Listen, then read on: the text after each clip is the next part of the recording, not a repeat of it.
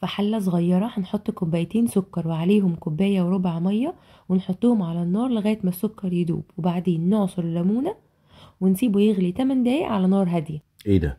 تعملي شربات؟ أيوه. ليه هتعملي لنا كنافة؟ فكرتني برمضان. اللهم بلغنا إياه. اللهم آمين. لا أنا بعمل عجينة سريعة وخفيفة كده هتعرفها دلوقتي.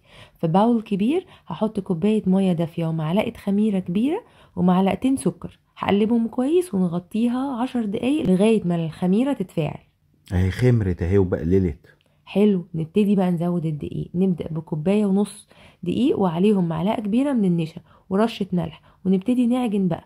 هنا هيبان معانا إذا محتاجين دقيق زيادة ولا لأ عشان نوصل بالعجينة لقوام متماسك.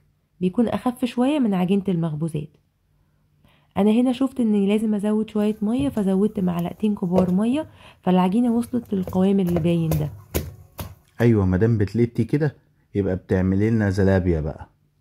صح ولازم العجينة دي نلتها كويس قوي ومش أقل من عشر دقايق لأن كل ما كانت ناعمة ده بيخلي الزلابيا يبقى شكلها كور متناسقة بطريقة أسهل. بعد ما نلتها كويس بقى نغطيها ونسيبها تخمر تاني لمدة 45 دقيقة في مكان دافي. شاطر شاطر يا كيك امسك بقى ده فرقعتها شطور امال ليه دايما بيقولوا إن الزلابيا صعبة وما بتتعملش في البيت؟ عشان دي فعلا من الوصفات اللي فيها تريكات كتير عادة الناس مش بتاخد بالها منها. طب قولي عليهم بقى عشان كل الناس تستفيد. أولها قوام العجينة وطريقة عجنها اللي إحنا قلنا عليه. وإيه كمان؟ تاني حاجة طريقة القلي. مبدئيا لازم الزيت يكون غزير جدا ونسخنه كويس ونبتدي ننزل الزلابية في الزيت. في ناس بتعملها في إزازة بلاستيك تقريبا. صح وفي كمان جهاز بيتباع مخصوص وفي بقى الطريقة التقليدية اللي إحنا نمسك معلقة الشاي ودي الطريقة اللي أنا بستخدمها. أهم حاجة يكون جنبنا كوباية مية نبل فيها المعلقة عشان العجينة ما تمسكش في المعلقة ونعرف نزحلقها بسهولة في الزيت. يا سلام على التركات طيب وهنا في حاجة مهمة جدا. لقمة القاضي عشان تطلع مقرمشة وحلوة وطرية من جوه بنقليها على مرتين.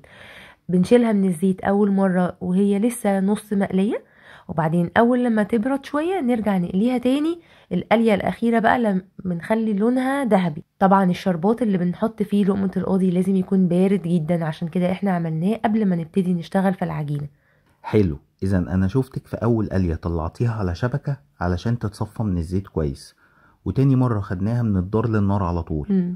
يعني وهي طالعة من الزيت سخنة نزلناها في الشربات البارد علشان نضمن قرمشتها. مظبوط. وعشان هي لو بردت قبل ما نغطسها في الشربات قلب الزلابية من جوه مش هيشرب الشربات. يا سلام! مع رشة السكر كمان حاجة أمبيزو. يعني شغل بصراحة ولا كورنيش ولا أي حاجة. آه إحنا مش فاضيين إحنا للكلام ده. أنا عايزاك بقى تدوق كده وتحكم عليها وتقول إيه رأيك.